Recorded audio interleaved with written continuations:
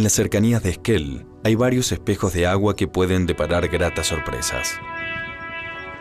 Uno de ellos es la laguna Willimanco, que debe su nombre a un antiguo poblador galés llamado William John Roberts, quien regenteaba un tambo en esa zona y que por haber perdido un brazo en un accidente era conocido como Willy el Manco. De allí el actual nombre de la laguna. Es posible rodear a pie todo el espejo, siendo uno de los puntos más calientes para su pesca aquel conocido como los flats.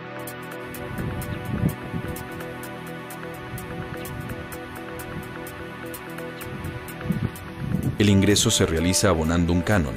La pesca embarcada suele dar mejores resultados con peces que pueden superar holgadamente los 3 kilos de peso.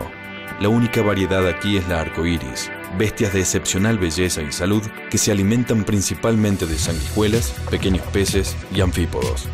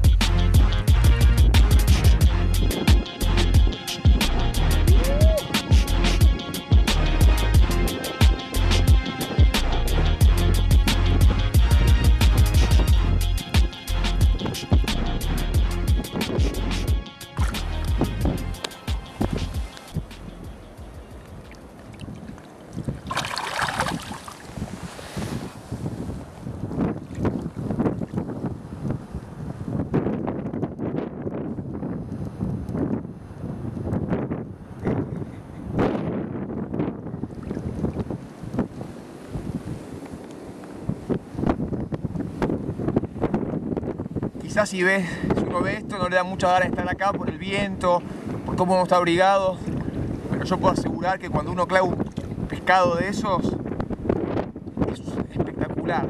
Aparte este valle rodeado de montañas, flamencos que están enfrente a mí.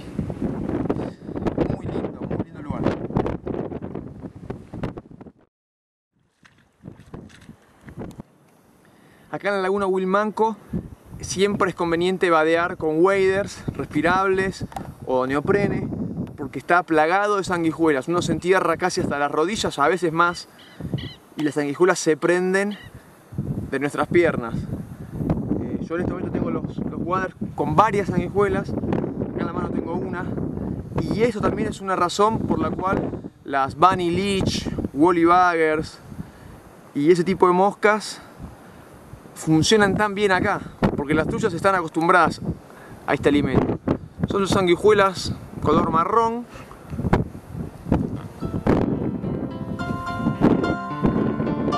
Y hay muchas de estas. Como digo, en la parte inferior